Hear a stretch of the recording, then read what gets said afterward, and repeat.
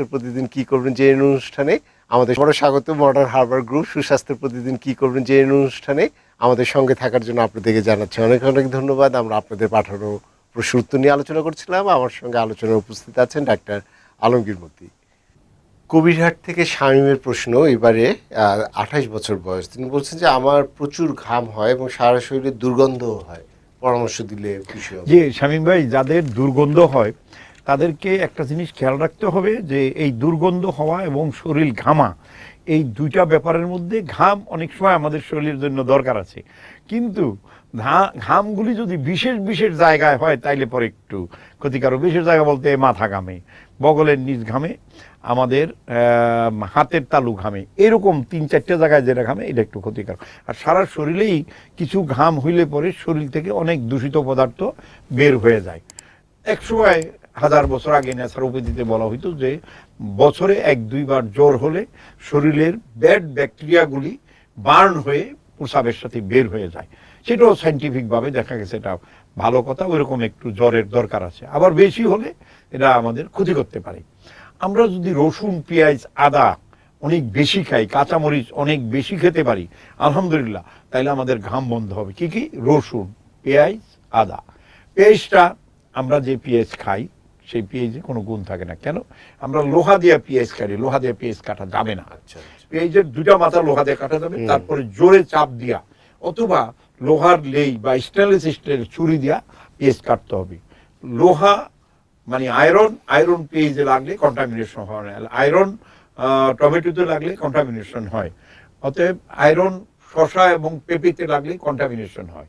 পেঁয়াজের সব গুণ নষ্ট করে দেয়, লোহা লাগার সাথে সাথে। ওইখানে আপনাকে বাঁশের লেই বা স্টেনলেস স্টিলের ছুরি দিয়ে পেঁয়াজটাকে একটা ভাগ করতে হবে, মাঝখানে গিয়ে। তারপরে চাপ দিলে পেঁয়াজটা কষে কষে বেরোয় আসবে। সেই পেঁয়াজটা খেয়ে দেখবেন কত মজা লাগে।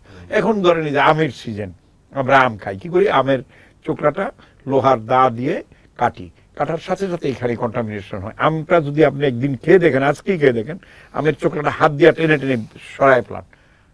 তারপরে ওখানে একটা স্টেনলেস স্টিলের ছুরি দিয়ে আমটাকে তিনটা ভাগ করেন। সে আমটা টেস্ট এবং লোহার ছুরি দিয়ে চামড়া খোলার টেস্টই আলাদা পাবেন। এটা একটু পরীক্ষা করেন। আর পেঁয়াজ কোনোদিনও আপনার লোহা দিয়ে কাটতে পারবেন না। পেঁয়াজটা চেপে চেপে ভাগ করে, খোসা করে, সালাদ করে খেয়ে দেখেন একটা নতুন স্বাদ। নতুন কারিশমা আপনি নতুন ফুড ভ্যালু আপনি পেঁয়াজ থেকে পাবেন। আপনার যে সমস্যা, এটার জন্য পেঁয়াজ, রসুন আদা সকল রোগের দ্বারা এটা আপনি খেয়ে দেখেন, আলহামদুলিল্লাহ ভালো লাগবে। গাজীপুর থেকে প্রশ্নটি করেছেন মোহাম্মদ রাসেল মিয়া, বয়স আটচল্লিশ বছর। তিনি বলছেন যে, আমার উচ্চ রক্তচাপ আছে এবং উচ্চ মাত্রার কোলেস্টেরলও আছে। বুক ধরপড় করে, রাতে ঘুম কম হয়, মাঝে মধ্যে হাতে পায়ে পানি আসে। আমার ডায়াবেটিসও আছে। এই অবস্থায় কীভাবে চললে আমি ভালো থাকব? আলহামদুলিল্লাহ, আপনাকে দুই থেকে তিনবার গোসল করতে হবে। চীনের প্রেসিডেন্ট ছিলেন মাও সেতুং।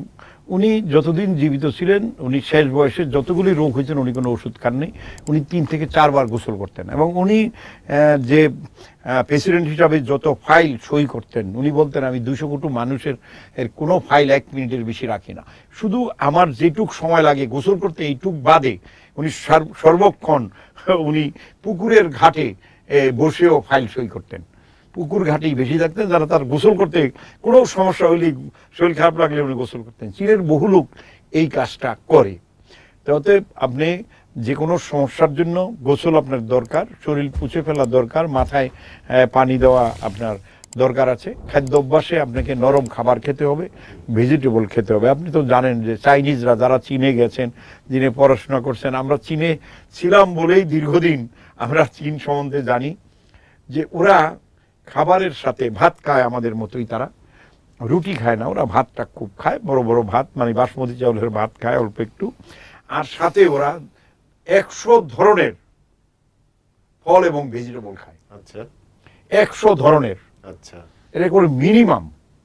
আপনি বলতে পারেন যে একটা ডাইনিং টেবিলে একশো ধরনের খাবার কীভাবে রাখে? ওদের ডাইনিং টেবিলগুলো এরকম। পাঁচ স্তরের এবং এমনি ধাক্কা দিলে ঘুরতে থাকে। ঘুরে ঘুরে আসবে। আমরা পাঁচজন বসছি পাঁচজনেই এই একশো ধরনের খাবার খেতে পারব ঘুরে ঘুরে। প্রতিটা টেবিলে ওদের এরকম। একদম আপনি সাংহাই আহ, বেজিং আপনার ইয়ে ইউনিয়ন প্রদেশ এইসব প্রদেশগুলো আমি উনত্রিশটা প্রদেশ চীনের ঘুরেছি। আমরা দেখছি যে সকলেই প্রায় একশো ধরনের খাবার খায়। ওরা খাবারটাকে একটা পবিত্র দায়িত্ব মনে করে এবং এর সাথে সর্বরকম শক্তি দিয়া তারা খাবার তৈরি করে। হোটেলও তাই। মানে যে কোনো হোটেলে যাবেন একশো ধরনের খাবার যারা খাবে তারা সাধারণ মানুষ। দেড়শো ধরনের খাবার যারা খাবে তারা মধ্যবিত্ত। দুশো ধরনের খাবার যারা আহ, প্রতি বেলায় খাবে দুশো ধরনের আইটেম খাবার মানে দুশো ধরনের আইটেম যারা খাবে তারা উচ্চ মধ্যবিত্ত। তিনশো ধরনের খাবার যারা খাবে তারা একদম আপার এবং সুপার ক্লাস আমরা দেখছি যে কোনো গভর্নর যখন আমাদেরকে দাওয়াত করছে তখন তিনশো ধরনের আইটেম সিরিয়াল নাম্বার দেওয়া আছে তিনশো ধরনের আইটেম দিয়া খাবার হয়েছে। দেখা গেছে চিংড়ি মাছের মধ্যে দশ রকম আবার মিষ্টি কুমড়ার ভিতরে দশ রকম চাল কুমড়ার ভিতরে দশ রকম। বিভিন্ন সিস্টেমে বিভিন্ন ভাবে কে কীভাবে খেতে পারে কে কীভাবে নিতে পারে কথা বলতেছে খেতেছে খাওয়ায় যদি তারা এক ঘণ্টার সময় ব্যয় করে এটাকে তারা পবিত্র দায়িত্ব মনে করে। আচ্ছা। তারা বলে দীর্ঘায়ু লাভের জন্য এই সময়টা আমি দিলাম আমি দীর্ঘায়ু লাভ করব। বাজে কথা না বললাম বাজে ঘোরাফেরা না কইরা ওয়াইন না খাইয়া, মদ না খাইয়া বন্ধু বান্ধবের সাথে গল্প করিয়া টাস না খেলে সময়টা না দিয়ে, আমি এক ঘন্টায় ধীরে ধীরে ধীরে ধীরে ধীরে ধীরে আমি তিনশো ধরনের খাবার খাব, আমি নিরোগ থাকব, সুস্থ থাকব। যেহেতু আল্লাহ তালা আমাকে কিছু ধন সম্পদ দিছে, আমি চলে যাব। কিন্তু আমি আমি সুস্থ থেকে, ওষুধ না খেয়ে সুস্থ থেকে পৃথিবী থেকে বিদায় নেব। ধরেন, আমি ব্রিটেনের রানীর এখন বয়স সাতানব্বই বছর। সে দুই তিনটা বিশ্বযুদ্ধ ফেস করে ফেলছে। দেশ ব্রিটেনের রানী, সে কোনো ওষুধ খান না। উনি ন্যাচারোপ্যাথিতে বিশ্বাস করেন, ন্যাচারাল। ওনার অ্যালোপ্যাথিক ডাক্তার আছে, কিন্তু সবাইকে আবার উনি চারি বছরের একটা করে বেজিং থেকে হার্বালিস্ট কোর্স করাই নিয়ে আসছেন। নিয়ে আইসা তার খাবারগুলো ন্যাচারোপ্যাথির অ্যাডভাইজে সেও এরকম দুই তিনশো পদ খাবার চীনের লোক আছে, ওখানে কাশ্মীরের লোক আছে, যেসব দেশের লোক দীর্ঘায়ু লাভ করে, জাপানের লোক আছে, তার রয়্যাল হাসপাতালে, রয়্যাল হোটেলে ওইখানে তারা ওইভাবে খাবারগুলোকে তৈরি করে। এখন আমাদের দেশে তো অনেক লোকের পয়সা আছে। তারা খাবারগুলোর ভিতরে কেন পোলাও বিরিয়ানিতে সীমাবদ্ধ হন? বড় লোকের খাবারই যেন পোলাও বিরিয়ানি, যেই খাবারগুলো আমাদের জন্য পয়জন যে খাবারগুলো আমাদের জন্য বেদব খাবার, যাদের ভিতরে কোনো আদব নাই। মানে একটা পোলাও বিরিয়ানি, বিয়েতে খাওয়া মানে বেদব খাবার খাওয়া, বাজে খাবার খাওয়া, বাজে মশলা খাওয়া, বিষ খাওয়া, জেনে শুনে আমরা কেন বিষ পান করি? আমি আপনার এটা বাইদি ভাই বলছি আপনার ছেলের বিয়েতে আমি যাব। আপনি আমার একজন বন্ধু। আপনার ছেলের বিয়েতে যাওয়া আমার মহাপবিত্র দায়িত্ব। আমি আপনার ছেলের বিয়েতে যাব। এই মহাপবিত্র দায়িত্ব পালন করার জন্য। সেখানে আমি কষ্ট করে যাচ্ছি আপনি কষ্ট করতেছেন কিন্তু আপনি আমাকে বিষ খাওয়াচ্ছেন। জেনে শুনে দুইজনে মিলে বিষের সেবা শুশ্রূষা করতেছি। কেন? আপনি আপনার ছেলেকে অনেক টাকা পয়সা খরচ করে আপনি মেট্রিক পাস করছে, ভয়ানক ভালো রেজাল্ট করছে। সবগুলোতেই সে স্টার পাইছে। এখন আপনি স্টার পাওয়া ছেলের জন্য, আমি খবর শুই না, আপনার বাড়িতে দুই কেজি আঙ্গুর পাঠাবো, এক কেজি আপেল পাঠাবো, এক কেজি পেয়ারা পাঠাবো, না পাঠাইয়া আপনি আমার বাড়িতে এর মিষ্টি পাঠাচ্ছেন আমার জন্য ডায়াবেটিসটা বেড়ে যায় আমার জন্য প্রেশারটা বেড়ে যায় আমার জন্য রোগগুলি বেড়ে যায়। একটা চিনিতে একশো উনষাটটা রোগ হয় তাহলে আপনি কি আমাকে একশো উনষাটটা রোগ তৈরি করার জন্য মিষ্টি পাঠাচ্ছেন আপনার ছেলে রেজাল্টও ভালো করল আমি না পাঠাই আপনি আমাকে পাঠাইতেছেন আমার শরীরটাও যেন খারাপ হয়ে যায় আপনার খবরটা শোনার পরে। তো এই যে সিস্টেমগুলো এই বাজে সিস্টেমগুলো থেকে আমাদেরকে বের হয়ে আসতে হবে। অবশ্যই। সোজা কথা।